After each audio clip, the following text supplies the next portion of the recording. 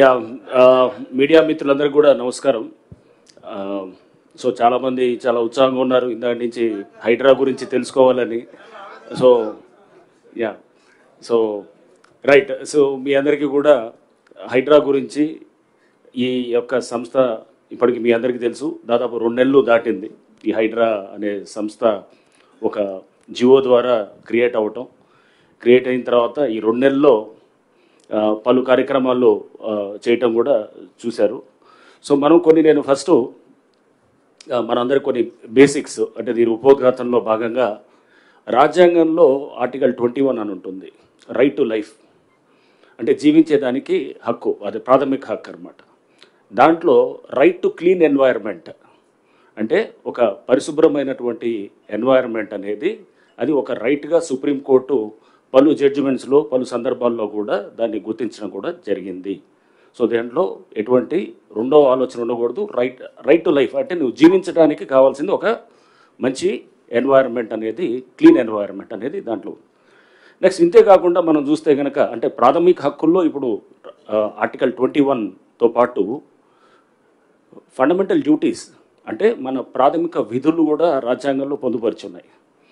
దాంట్లో కూడా చాలా స్పష్టంగా article fifty one A fifty one ఏలో మనకి రెండు ప్రొవిజన్స్ ఉంటాయన్నమాట. ఒకటి fifty one A A G జీలో ఏంటంటే దాంట్లో మన అందరం కూడా సిటిజన్స్ ఆఫ్ ద కంట్రీగా మన ఎన్వైరన్మెంట్ని అంటే మనం it is my duty to it is the duty of all the citizens to protect to protect the environment అనేది చాలా స్పష్టంగా ఫిఫ్టీ వన్ ఏ జీలో రాజ్యాంగంలో పొందుపరుచున్నాయి అనమాట నెక్స్ట్ అట్లనే ఫిఫ్టీ వన్ ఏఐ దాంట్లో కూడా చాలా స్పష్టంగా రాజ్యాంగంలో మన పబ్లిక్ ప్రాపర్టీస్ అంటే ఏదైతే ప్రజల ఆస్తులు ఉన్నాయో ఆ ప్రజల ఆస్తులన్నింటినీ కూడా మనం కాపాడాల్సిన బాధ్యత మన సిటిజన్స్ అందరి మీద ఉన్నాయని కూడా చాలా స్పష్టంగా రాజ్యాంగంలో కూడా చెప్పడం జరిగింది. సో ఈ అన్నిట్లో కూడా ఈ ఈ క్రమంలో మీ అందరికీ తెలుసు హైడ్రా అనేది ఇది దీని యొక్క దీని యొక్క ఫంక్షన్స్లో ప్రధానంగా డిజాస్టర్ మేనేజ్మెంట్ ఒకటి ఉంటుంది. రెండోది అసెట్ ప్రొటెక్షన్ ఉంటుంది.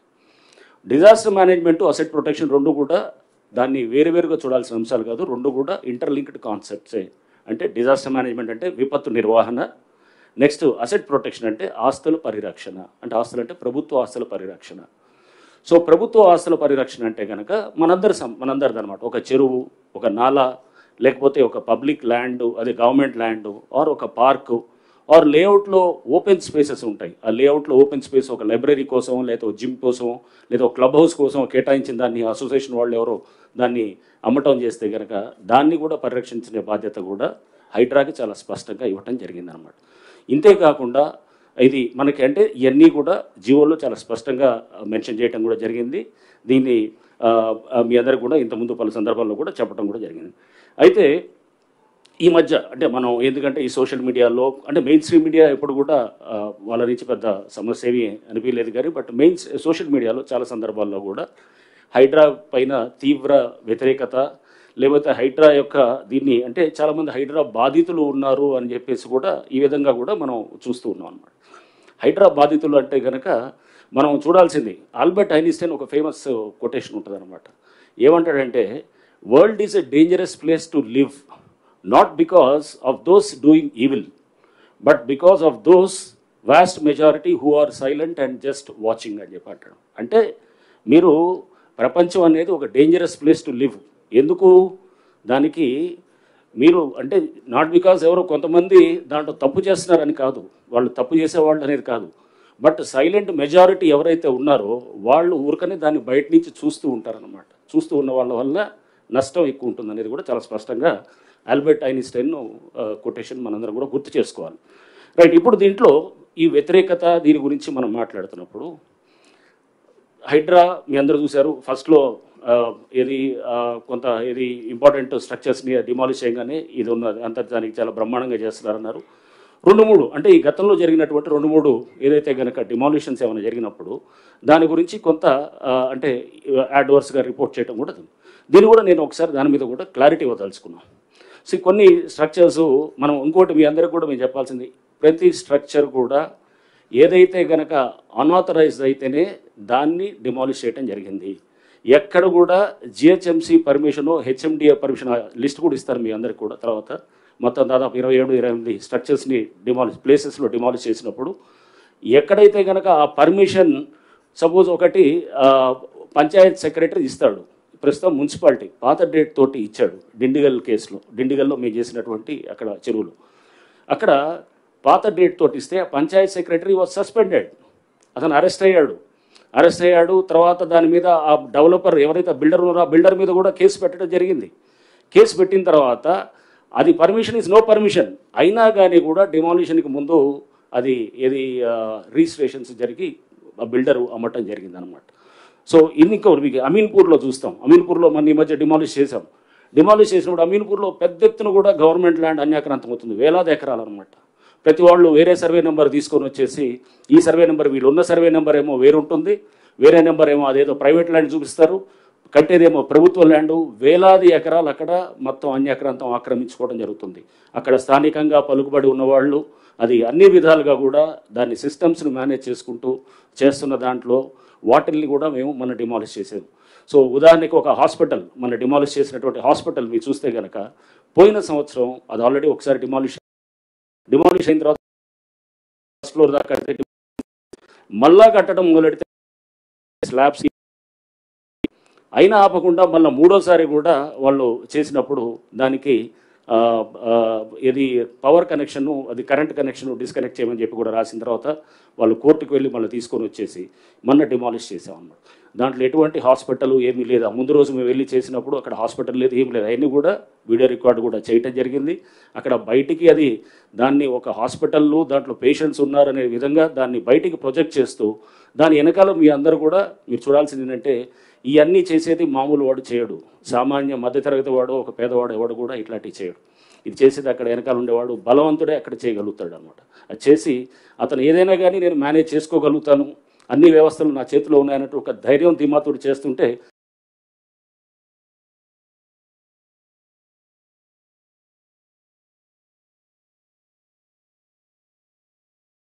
చూస్తే ఇంకా అక్కడ కూడా చాలా విల్లాస్ కూడా మనం డిమాలిష్ చేసాం విల్లాస్ డిమాలిష్ చేసినప్పుడు ఆ విల్లాస్ డిమాలిషన్లో వచ్చినటువంటిది కూడా మనం చూస్తే కనుక అక్కడ ఆల్రెడీ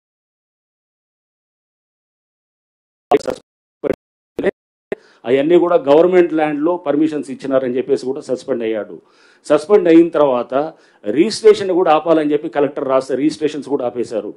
ఆ బిల్డర్ అక్కడ ఉన్నటువంటి అతను మాధవ్ రెడ్డి ఏదో ఉన్నది. అతను ఇంకో కోటేశ్వరరావు అని చెప్పేసి వాళ్ళు కొంతమంది వెనకాల వీళ్ళ వెనకాల అక్కడ లోకల్గా అక్కడ ఉన్నటువంటి ఒక పొలిటికల్గా ఉండే అతను వాళ్ళు వీళ్ళందరూ కలిసి మళ్ళీ కోర్టుకు వెళ్ళి రిజిస్ట్రేషన్స్ని అది వెంటనే మళ్ళీ చేసేటట్టు చేస్తే ఒకవేళ రిజిస్ట్రేషన్స్ ఉంటే కనుక బహుశా కొంత ఆగుండేదేమో అంటే తెలిసేది పబ్లిక్కి.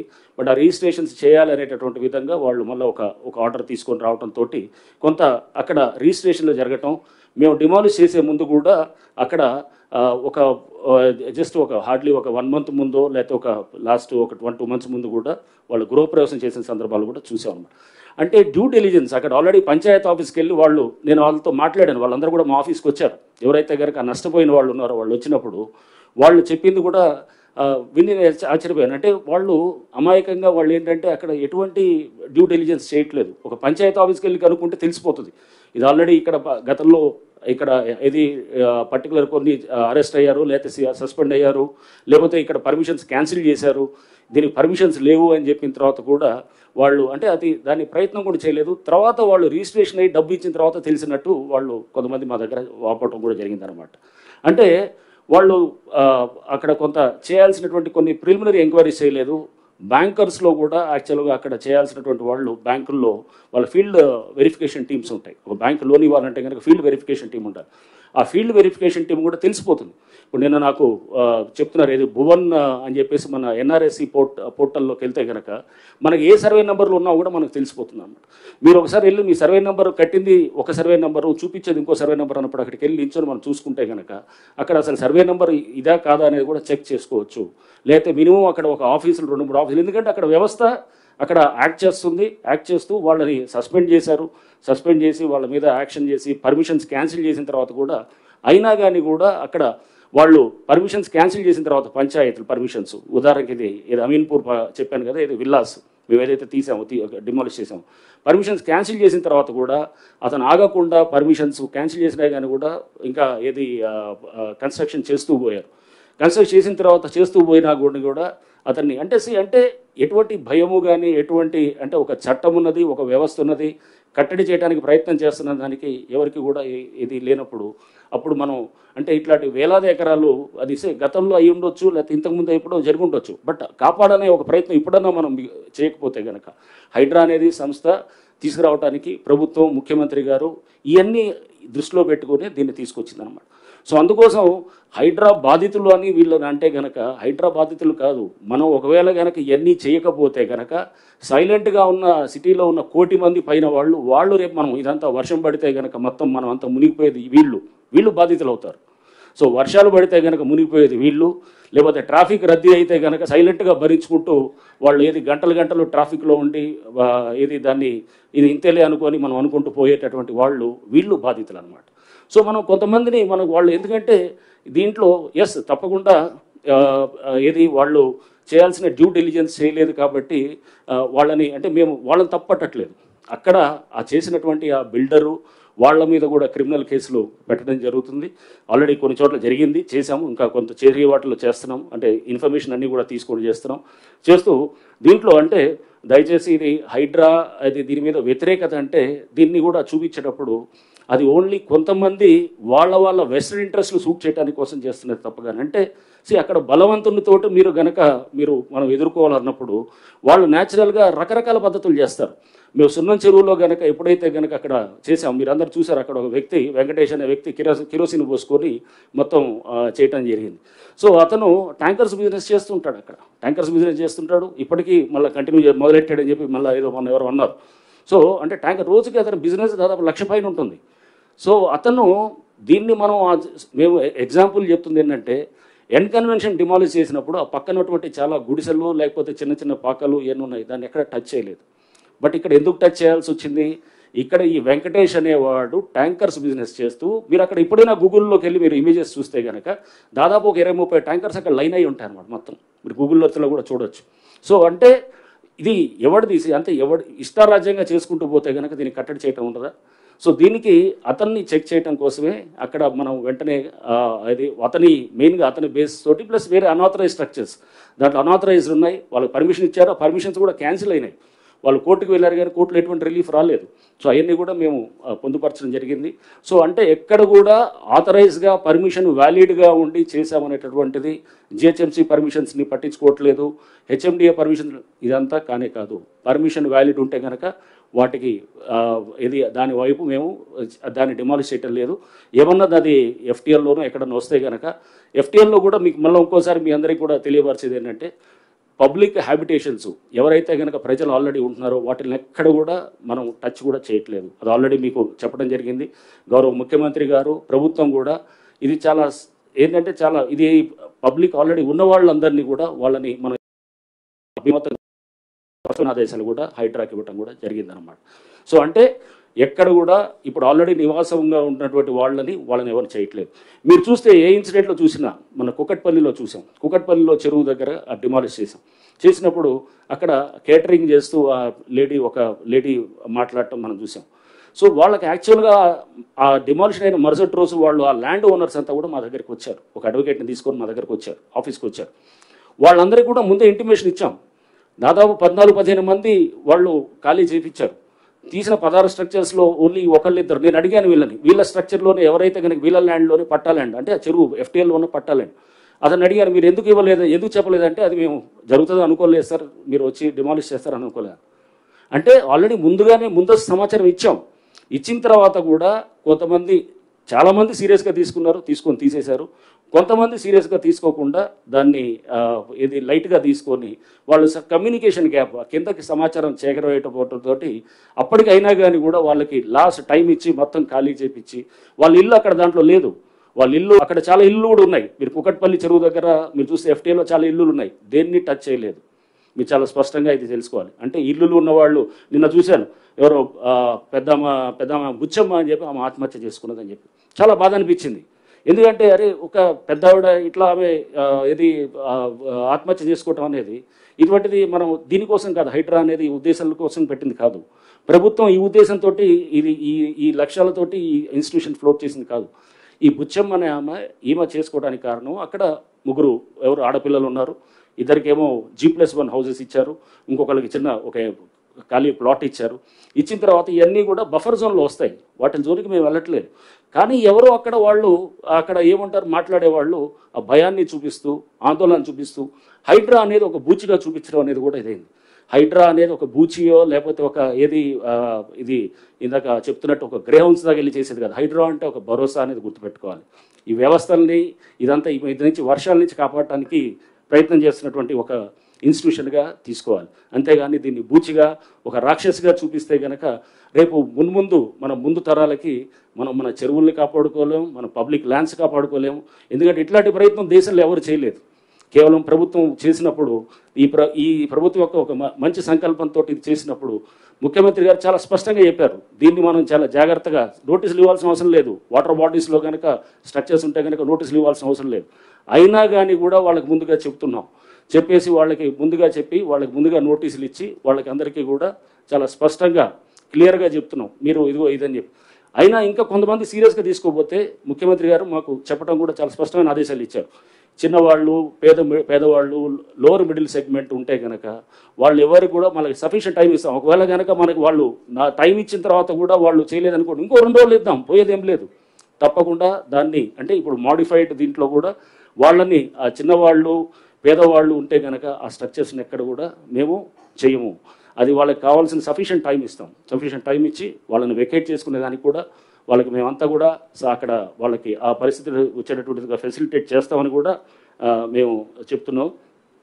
దయచేసి ఏంటంటే హైడ్రాని ఒక భయం కింద ఒక బూచి కింద చూపించడం మానేయాలి ఫస్ట్ దీనికి చాలా హైప్ ఇచ్చేసి రేపు హైడ్రా వస్తుంది కూల్ చేస్తున్నారు అది చేస్తున్నారు అనేది కాదు. హైడ్రా అనేది ఒక బాధ్యత ఒక భరోసా అనేది మళ్ళీ ఒకసారి మీ అందరూ కూడా నేను చెప్పదలుచుకున్నాను. అవునండి అవునండి. అయిన తర్వాత మీరు చెప్పండి. వీల్ టేక్ యువర్ క్వశ్చన్స్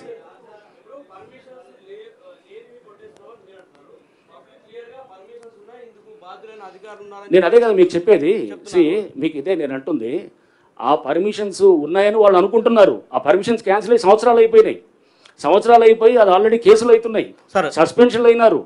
కేసులు అయిపోయినాయి. రిజిస్ట్రేషన్ కూడా ఆపిచ్చారు. ఎవరిని తప్పట్టాలి? ఆ బిల్డర్ని తప్పట్టాలి. ఆ బిల్డర్ని పట్టుకొని అడగాల్సింది పోయి లేకపోతే డ్యూ డెలిజెన్స్ చేయకుండా మీరు వచ్చి మీరు కొలగొడుతున్నారంటే కనుక అసలు పర్మిషన్ లేని స్ట్రక్చర్ అది. రెండోది. నేను ఇప్పుడు చెప్పేది అదే ఇప్పుడు. మీ అందరికీ పర్మిషన్ ఒకటి ఇప్పుడు సర్పంచ్ తోటి గండిపేటలో సర్పంచ్ ఇచ్చారు పర్మిషన్ సర్పంచ్ అసలు పర్మిషన్స్ ఇవ్వచ్చా? లేదు కదా? పంచాయత్ సెక్రటరీ ఇవ్వాలి. అది కూడా ఇప్పుడు యాంటీ డేట్ తోటి రెండు వేల తొమ్మిది కన్నా ముందు డేట్స్ తోటి ఇచ్చుకొని ఇది ఏ కాగితం అంటే ఆ కాగితం పర్మిషన్ అవుతుందా? అట్లాంటిది ఇది invalid illegal permission is no permission ప్రతిదీ.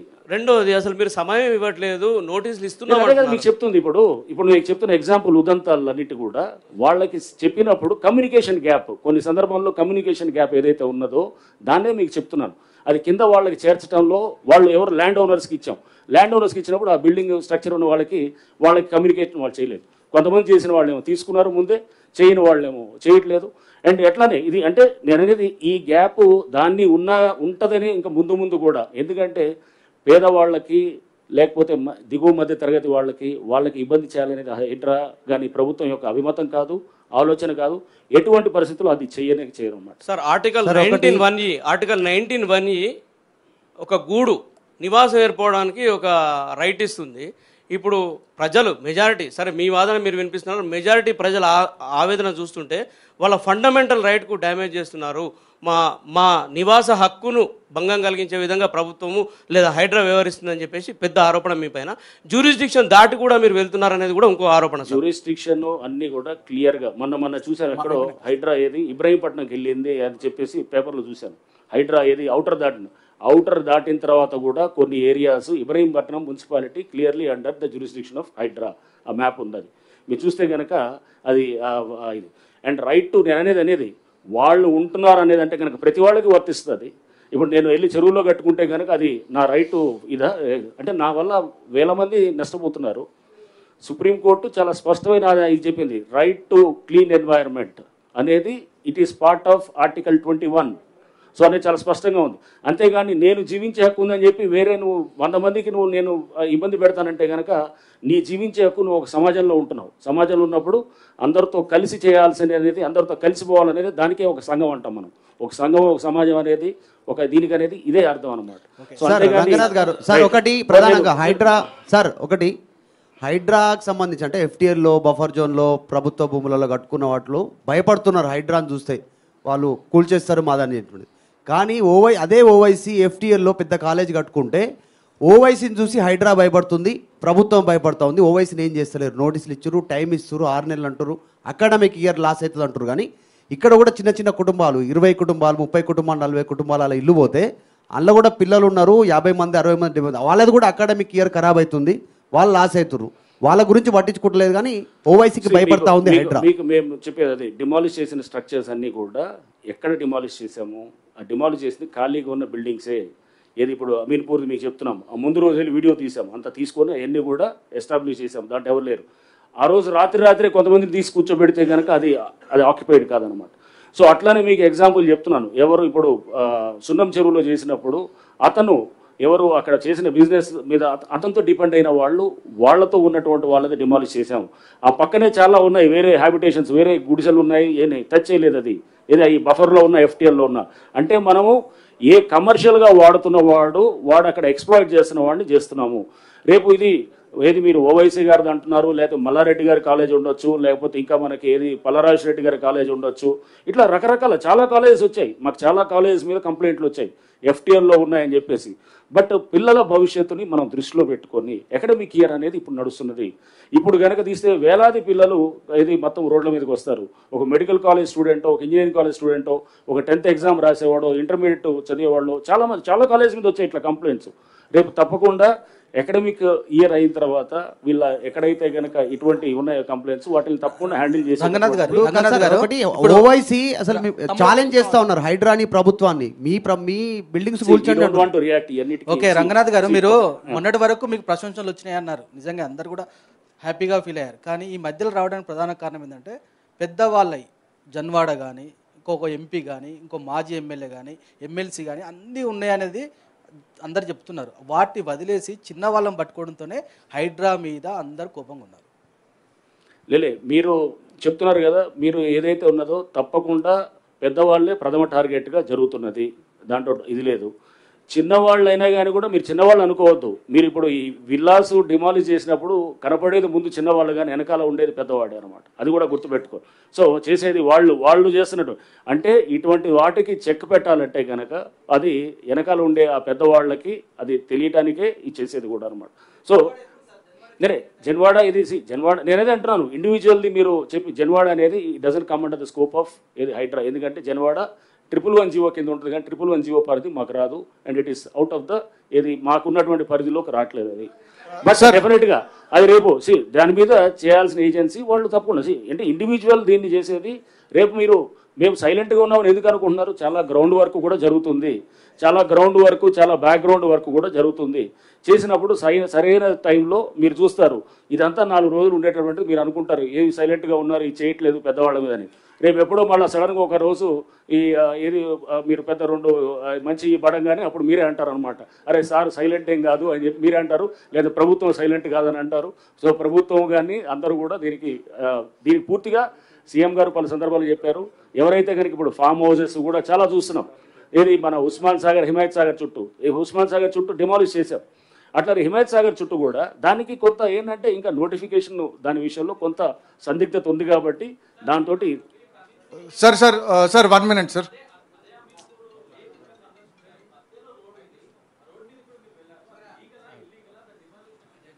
నేనే లీగ్ అది రోడ్డు అక్కడ చెరువు అక్కడ కూడా మేము చెప్పాము అక్కడ ఒక ఇది ఎక్స్ ఎమ్మెల్యే ఒకళ్ళు వాళ్ళు కూడా ఆక్యుపై చేసేసింది. దాన్ని కూడా దాన్ని ఇప్పుడు నెక్స్ట్ డిమాలిషనే కాదు రిట్రీవల్ ఆఫ్ ద లేక్స్ అంటే దాన్ని లేక్ యొక్క దాన్ని మొత్తం మళ్ళీ రివైవ్ చేయటం అనేది నెక్స్ట్ అది కూడా మొదలవుతుంది.